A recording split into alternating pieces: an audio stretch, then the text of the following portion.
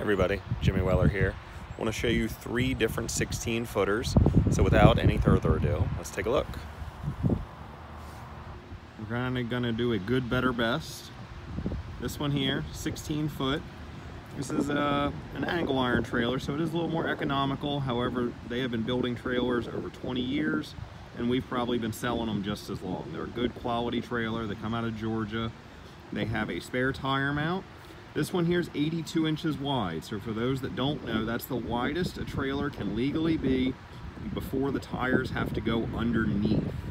82 inches, 6 foot 10. This will hold a 6 foot lawnmower. The gate on this one folds forward. It's also spring loaded, so it's not going to hurt your back. From there, we go to this one, which is quite a jump up. This one's all box tubing. Box tubing frame, box tubing tongue, box tubing sides. This one's 76 inches, six foot four. It also has a swivel jack. And then we get to this one. This one has the box tubing railing, has a split gate. Now, the benefit to that is the weight. You don't have to pick up the entire gate at once. You pick up the left side, you put the pin in, you pick up the right side, you put the pin in. You're only lifting half the gate at a time.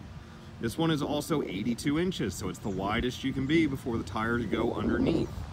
This one also has an adjustable coupler. It's not pictured, but that channel right there, a coupler goes in. It is included. You don't have to pay extra for it. And it's adjustable, so you can put it up, you can put it down. These trailers, 16 footers, are available at Weller's. They are priced accordingly.